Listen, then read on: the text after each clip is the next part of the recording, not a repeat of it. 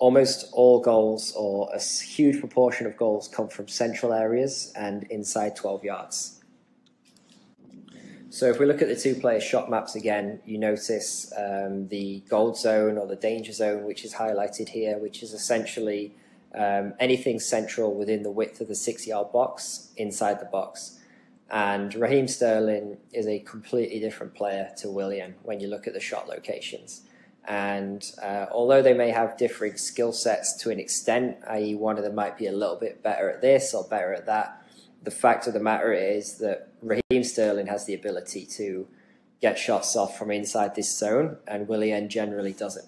And that's what gives Raheem Sterling his goal scoring threat.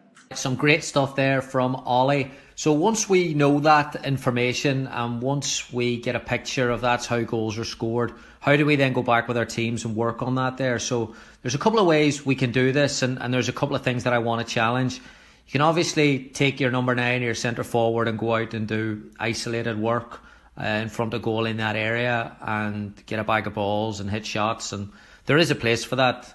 Uh, of course, absolutely. There is technique involved in this here. Uh, you can also then play a 5v5 game and get two number nines in front of, of either goal and get them the repetition to do that there. But I think the drawback with both of these exercises is that if you rely only on them, the limitations are that the centre forward is already in that zone. So the challenge in the game is how to get them into the zone whenever they're not there and they're supposed to be. And that can be very, very difficult. So this was an interview from Gary Lineker, who's one of the greatest goal scorers of all time now, does a lot of work on TV. And I thought this is absolutely a brilliant assessment of that right place, right time mentality. My anticipation, if you like. I think people often say about a player that scores goals, he's in the right, he was in the right place at the right time. Um, that's true, but the, the answer to that is, is to be in the right place all the time. Um, and if you're there eventually, and it, the thing about it is, I'll try and explain how to score goals now, but um, it's all about making runs in the, and movement in the box. And obviously the pace of that, the pace that I have helps. Um, the thing I always do is I make a run, and I'll decide I'll just take a chance to go for a space. I'll make sure I get there in front of the defender. And then if the ball comes to me, well, that's great. So if I make 15, 20 of those runs in a game and the ball comes to me once and I'm all on my own two yards out from goal, everybody will say, well, he's in the right place at the right time. But the answer is to be in that place all the time. Then eventually when the ball does come to the right place, you're there being at the right place at the right time all the time. I just think that's a brilliant interview, brilliant little insight from uh, from a great centre forward. So the challenge is to get that forward into those areas at all times, and I think this is a really underestimated or undervalued part of the game. So when we look at clips today and we see goals that are scored in these zones, it looks like they're tap-ins, and it looks like there's not a lot to it. But do we overvalue the one in a thousand shot that was struck from long range and flies into the top corner and undervalue the significance or the work rate or the mentality that it takes for this forward to get into these areas all the time again and again. So I'm going to use a quick example here of Sam Kerr at Chelsea. This is Sam's shot map and you can see here there's a lot going on in that central area that Ollie was talking about. So if we look at the highlights and we see her goals, it looks as if she just hangs out and she's a goal poacher and she stays in those areas. But when you watch the game and when you look at the different angles that we can get, we can see that there's a little bit more to it than that. So a couple examples here. Chelsea are in blue, of course. Win the ball here against West Ham. Sam's on the far side of the picture. You can see her here putting her hand up. So she's outside the box. She's looking at getting across that defender on the weak side who's well aware that she's there. You can see that movement and the aggression of her movement and the speed of her movement to take that area. Similar position. She's not on the screen at all. She's back there. She's got to get in that zone fairly quickly. And again, that area that Ollie talked about. She attacks that area. Misses this time with, with the header. Same game. That's her there. Again, it's in transition. She makes two movements here that are small but quite significant. First is to look for the ball, and the second one is to keep going after she passes it off and she's all alone. Taps it in. Looks easy, but she's done a fair bit of work there. This here, as soon as the ball's played into the space, you can see here she goes from an area of support. She's got a lot of ground to make up here. But again, the willingness to do this work and to win this race separates her. Again, she'll. But the movement is unbelievable. There's not a lot of forwards who can make up this ground and pull away like this. She does this again and again and again, and that's why she scores so many goals. This is against Manchester City as well. You see here she's just at the top of the screen. So similar to the last clip, this was about two or three weeks after it. Again, she's got to get into that area, and her willingness and her aggression to get in that area gives her a simple goal.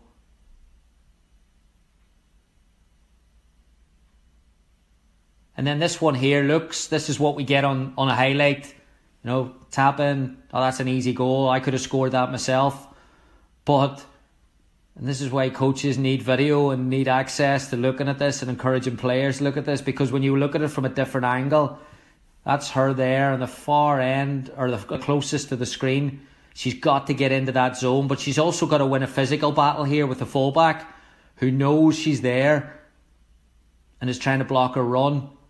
So it's not just a speed race, it's also a physical battle once she gets in that zone and the willingness and the ability to, to win those races time and time again. And if it's a physical battle to get in front of a fullback, then they've got to do that there. So it becomes a big psychological test as well for a centre forward.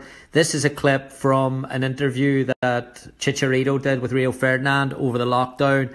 Uh, just again, gives you a little insight into the mentality that it takes for someone to you look at movement and just think it's a bit of luck or look at movement and think it's a bit of speed. But in, in reality it's a it's certainly a psychological component for these players as well. And when we talk about movement of strikers and for me as a defender strikers that are moving all the time especially when the ball is wide is a nightmare to play against. Who taught you how to move like this it's being how I'm gonna beat that guy. How I'm gonna take advantage of you. Even and you can see me even the workout sometimes, and I and I still do it. Eh? But and, and I'm gonna say this, and people are gonna complain. But it's like even when when the when the in the fitness uh, works, when they say I'm gonna go a little bit. When the fitness guy start three, two. When I hear one, I try to get because I know I'm beating you, I'm beating you. But the thing is, I'm gonna maintain that because if not, it doesn't matter if I not do it. So always in my mind is being like, try to be more clever, think ahead of of someone. So in that moment, I was thinking like, let's do this movement of like I'm coming to the ball and then I go back, and that mm. depends. If the ball comes, great. If it doesn't come. So you're talking about like opposite movements. So coming to the ball and then running. Exactly. So, so for instance, yeah. when someone like Carrick or Scholes have the ball, that's oh. when you start to move like that.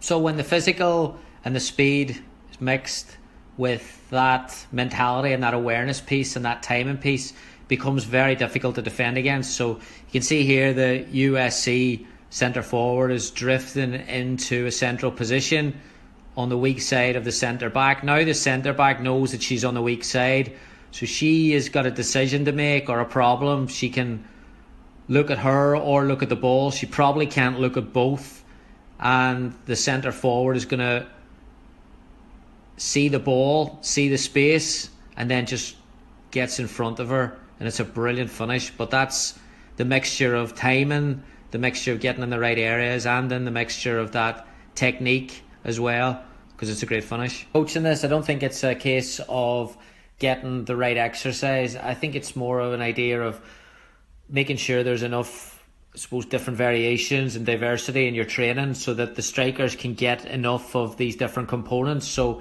in this aspect here, yes, unopposed finishing, like this is Tottenham looks pretty basic. They're going off the whistle.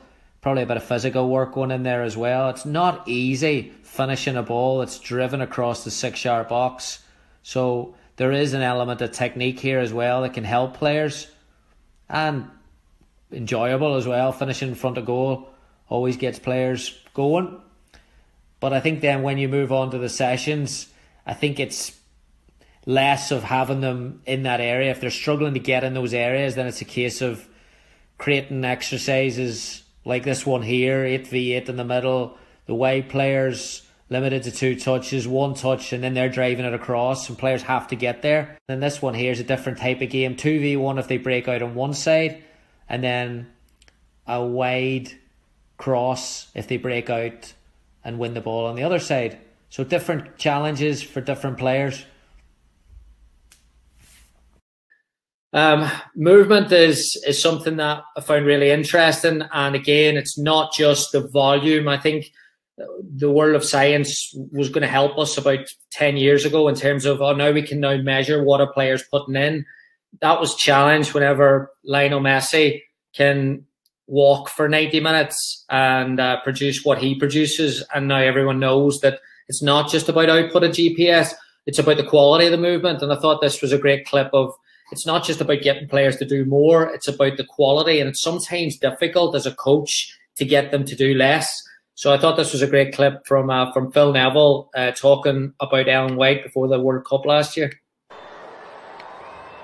She would run a million miles in every single game, every single training session.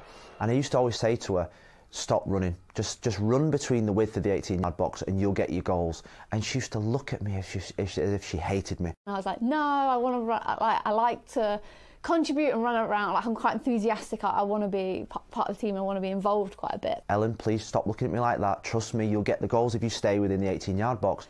I don't want to say he was right, but you know, um, I worked really hard about being. Basically, my role is to be in front of the goal to, to, to score goals, and it was quite challenging to kind of change my game a little bit and adapt it. But I felt like I was doing it a lot, you know, with club and also in a lot of England games moving into the World Cup, and it started to kind of work. She came into the World Cup fresh, and everything that she touched turned to goals.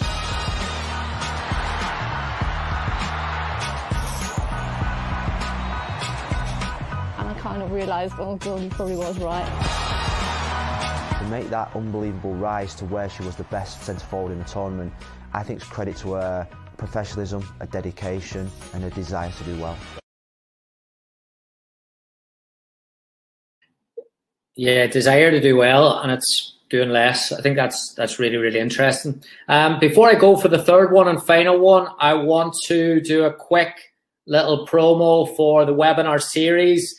We've done a, so many webinars in 2020. They're just coming to an end. We've got one more on Tuesday. All the interviews are always free. I put them up at a podcast. No problem with those at all. But the tactical webinars and the presentations, uh, we've decided to, to put pull back on those on the website and use it almost as all right. So modern soccer coach content will always be free on the website for a period of time, and then you know we've got bills to pay as well and time to put into it. So if you've enjoyed the work and you would like to continue to to help Modern Soccer Coach uh, throughout the next year and put these put these webinars together, then here is a way that you can support. We'll just take a quick break here. Thank you so much for watching the content at Modern Soccer Coach. If you would like to support what we're doing and help us provide more free coaching education with the webinars and the podcast and everything else, please take a look at this offer that we have from the webinars over the summer.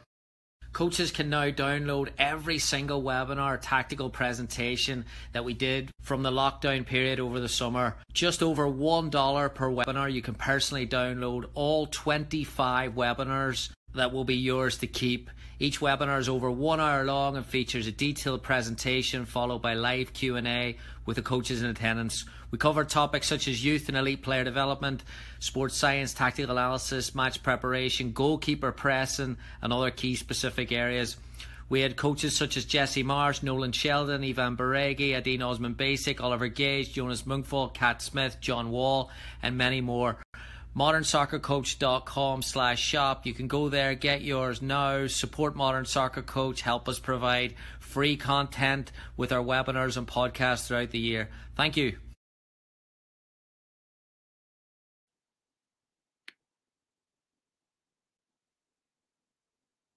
Uh, this is another interesting area of where I think the centre forward position has changed. So the conversation around the types of finishes, I think, was pretty limited uh, for for a number of years. Definitely when I was growing up, it was more a case of on your left side, shoot with your left foot across goal. On your right side, shoot with your right across goal. And I think this conversation is going to change drastically over the next couple of years in terms of what types of shot a player has and, and what decision they're making at a certain moment in time.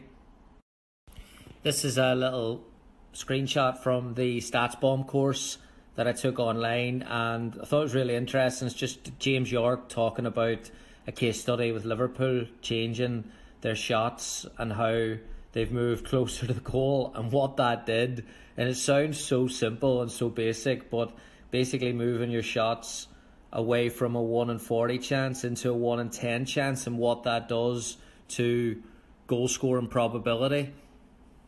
So going back to that clip that I showed there that I was taught right foot, right side, left side, left foot I think we're we're going to start to see as data starts to come in, some of these players at the top level are problem solving uh, with a little bit more creativity, and I think it's it's fascinating. Really, this was a a tweet from Laurie Shaw last week showing that Son at Spurs there's a clear pattern on the right side of the pitch. He shoots with his right foot inside the box and his left foot out of it. On the left side, it's the other way around. So I think that's where we're going to start to see some changes with some players' shot selection and being a bit more creative in how they use because there is going to be more as as shot maps start to come in there are going to be some defensive tendencies so what are forwards using to solve these challenges so here starting to use covering defenders as shields for the goalkeeper so this player here cuts inside and you can see here the centre back that comes over the cover is in the same line as the goalkeeper and then leaves a big space that the goalkeeper can't see on the far side. And now players have the have the technical ability that they can do this. So this is right side left foot, or it would be left side right foot cutting inside. So just a little bit more freedom for the players and against the things that we would have said five years ago, ten years ago as solutions have now changed perhaps. Where this opportunity here we would say well, this is 1v1 opportunity, take the player on or play a 2v2. But in this case, when she takes a touch inside, again, you have that screener in front of the goalkeeper that blocks the goalkeeper's view. And she's able to curl this here into the far corner. And this skill, I think we're seeing more and more at the top level uh, because, again, it's, it's right foot, left side. But if the player's right footed, is that not a better solution than shooting it with your left foot? This one's a little bit different because she comes on to the ball, so it's the right forward, and it looks again that it's going to be a 1v1 opportunity. But this time she doesn't even take a touch. She just uses this defender to guide the ball around. Again, it's a it's a fantastic finish, but players are more comfortable with that skill set today and it causes the defender a lot more problems because they don't want to jump into the tackle, of course.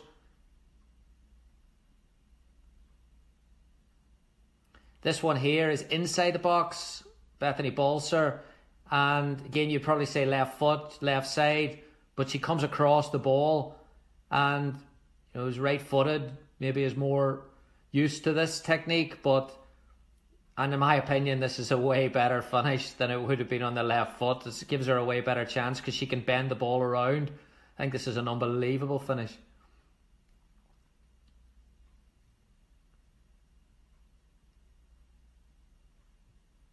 So, as opposed to dictating this as a coach, if she did this in a shooting drill, you would say, I'll oh, use your left foot.